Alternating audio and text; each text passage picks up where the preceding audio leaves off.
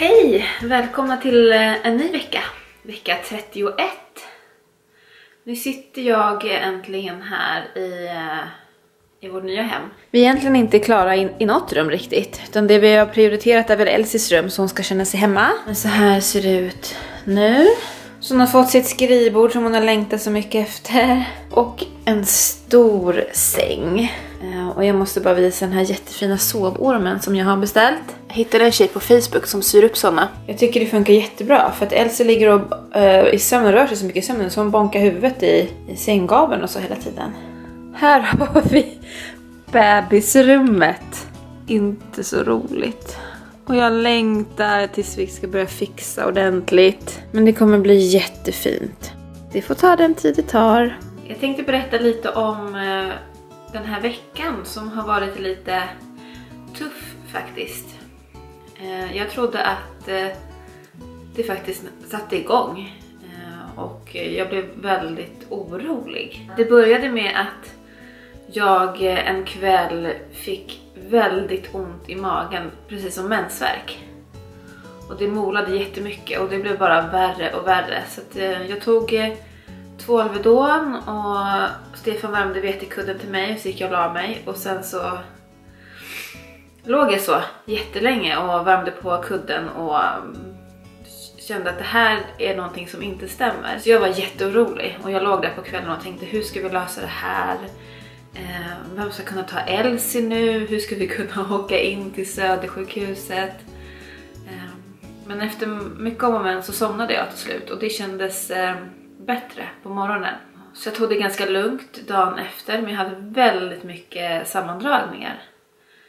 Eh, och de var ganska mycket fler än vad de brukar vara och även om de inte gjorde ont så kändes det som att ska det verkligen vara så här? Eh, och jag hade lite sådär molande verk i, i magen också, alltså som mensvärk. Så jag ringde faktiskt in till förlossningen eh, och var jättenervös. Eh, och där var de jättegulliga och bara liksom lugnade mig och sa att eh, det förmodligen inte är någonting. Eh, men alltså om det inte går över så ska jag ju ringa in igen såklart.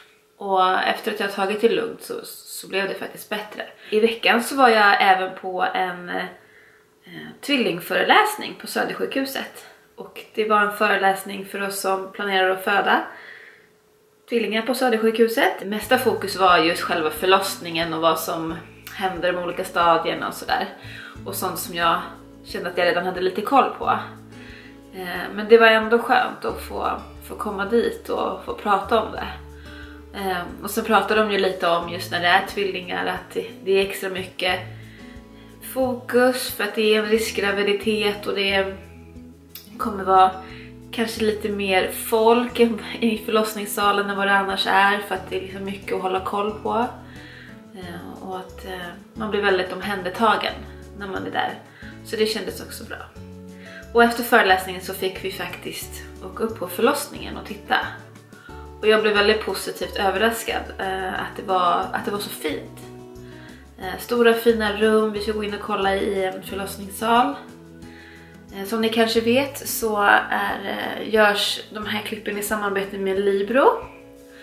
Eh, och Libro har någonting som heter Libro-klubben. När du köper blöjor så finns det i blöjpaketen en kod som du kan registrera med koden och så samlar du poäng och så har de en shop. Så du kan köpa lite grejer där. Men det är i alla fall jättelätt att registrera sig. Du kan använda datorn, eh, men det finns även en app där man kan gå in och läsa om, eh, om veckan. Här är vi vecka 31 och då kan man läsa lite om barnet.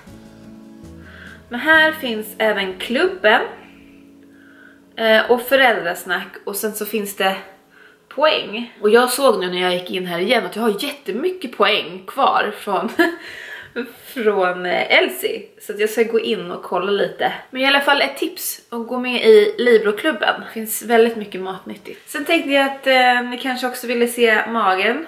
Så det här är magen nu. Spänner jättemycket, kliar mycket. Så det händer ju mycket. Känns som att jag snart spricker. Det var jätteroligt att eh, ni ville titta den här veckan. Um, jag hoppas att vi ses igen nästa vecka.